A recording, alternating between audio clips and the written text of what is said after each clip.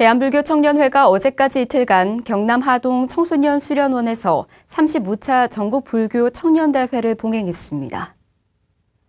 어둠 속에서 핀 시대의 등불, 우리는 청년 만의 달을 주제로 열린 창립 96주년 기념 전국 불교 청년대회는 지도법사 법현스님, 전준호 중앙회장, 천진규 정토원 원장, 양승찬 고문을 비롯해 500여 전국 대불청 법우들이 동참했습니다.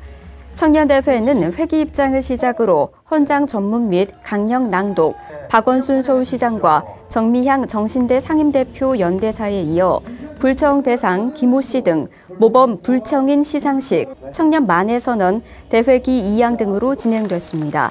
대불청은 불평등과 반목, 대립을 해결해 나가고 통일 성업의 새 시대를 열고 만의 정신으로 2020년 창립 100주년을 빛낼 미랄이 되길 기원했습니다.